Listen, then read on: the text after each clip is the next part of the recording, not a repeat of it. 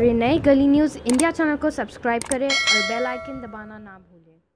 वालेकुम दोस्तों, मैं इब्राहिम शाह। अभी हम खड़े हैं मुमरा के कौसा मार्केट पर। यहाँ पर देख सकते हैं कि पूरा मार्केट पूरा पानी से भरा हुआ है और इसके बाजू में बिल्कुल एक नाला है और नाले की वजह से ये पानी यहाँ पर आ रहा है। और नाला आपको दिखा देंगे, हम विजुअल में नाला भी दिखा रहे हैं कि जगह जगह पर नाला चौकअप है।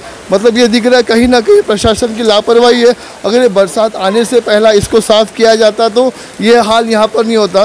लेकिन इस बार कुछ ज़्यादा ही पानी भरा हुआ है। मैं आपको दिखा सकता हूँ, बच्चे लोग यहाँ पर एक तैर रहे हैं। ये बच्चे यहाँ पर तैर थर्माकोल लगा के। चल आगे, चल चल। ले कवर कर। ये ये बच्चा। ये बच्चा यहाँ पे ऐसे नाव बना के तैर रहा है। हाँ।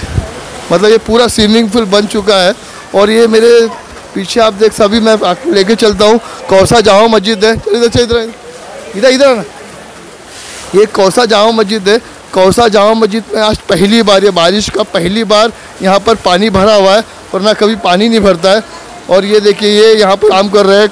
लगातार बारिश तीन दिन से गिर रही है और ये पानी पूरा भरा हुआ है। कौसा जामा मस्जिद के हमको लेके चलते हैं, वहाँ भी पूरा पानी भरा हुआ है। मतलब पूरे मुमरा शहर में देख सकते हैं दुकानों में पानी भरा।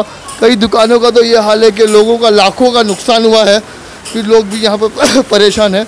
और कहीं ना कहीं प्रशासन को इस पर ध्यान देना चाहिए था। अगर ये पहले ये किया जाता चौकअप जो नाले का चौकअप है वो तो ये परेशानी नहीं आती। मैं भी आपको कौसा जामा मस्जिद के बाद लेके चलता हूँ।